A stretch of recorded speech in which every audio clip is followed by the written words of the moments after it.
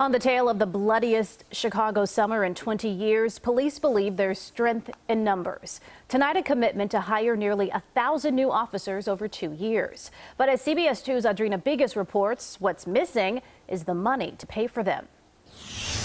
A piece of a crime strategy, but not all of it, says the man in charge. We're going to add officers to areas experiencing violent crime, and we're going to fill vacancies in districts in the communities across the city. Within two years, the plan is to add 500 street cops and 200 detectives, then beef up the ranks with 112 more sergeants and 50 additional lieutenants. There are just over 12,500 sworn officers on the force right now.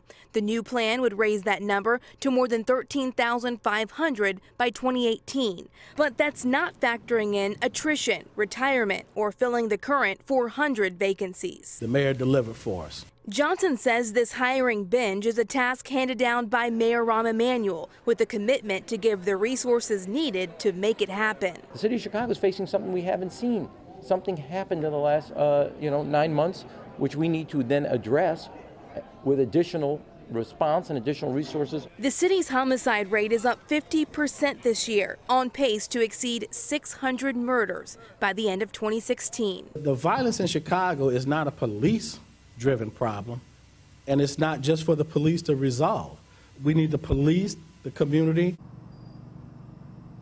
the Fraternal Order of Police tells us tonight that this plan falls short of the 2,000 officers the FOP recommended, but still calls this an obvious necessity. And tonight, even though Mayor Rahm Emanuel hasn't said how he will pay for this, he did say that he will give more details tomorrow night at Malcolm X College. Live outside Chicago Police Headquarters, Audrina Bigos, CBS 2 News. Robin Erica. Okay, Audrina, thank you.